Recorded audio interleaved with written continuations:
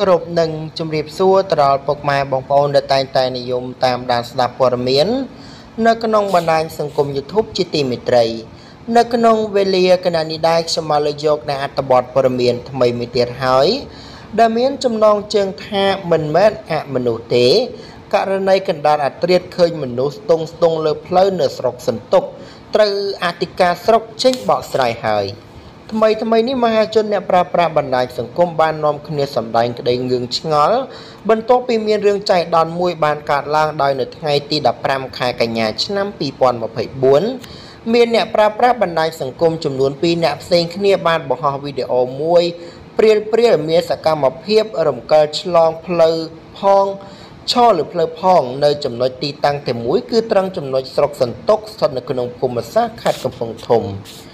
បន្ទាប់ពីផ្ទុះការជជែកវែកញែកជាហោហែរួចមកនៅថ្ងៃទី18ខែកញ្ញាឆ្នាំ2024តាមរយៈគណនីដែលមានឈ្មោះបាទប៊ុនថេងបានចេញសេចក្តីជូនបំភ្លឺជាសាធារណជន និងបងប្អូនប្រជាពលរដ្ឋដែលធ្វើដំណើរឆ្លងកាត់ក្នុងភូមិសាស្ត្រស្រុកសន្ទុកខេត្តកំពង់ធំ ដោយបញ្ជាក់ឲ្យបានដឹងថារូបភាពឬវីដេអូដែលថតជាប់នោះ គឺជាលោកយាយម្នាក់ដែលគាត់មានឈ្មោះតាក់យូស៊ីមអាយុ77ឆ្នាំដែលតែងតែដើរឆ្លងកាត់ថ្នល់ពេលយប់លើផ្លូវជាតិលេខ6ចំណុចភូមិសាស្ត្រវាំងខាងត្បូងឃុំតាំងក្រសាំងដែលមានប្តីឈ្មោះមុតសារឹមហៅតារ៉ូនៅក្នុងភូមិវាំងខាងត្បូងឃុំតាំងក្រសាំង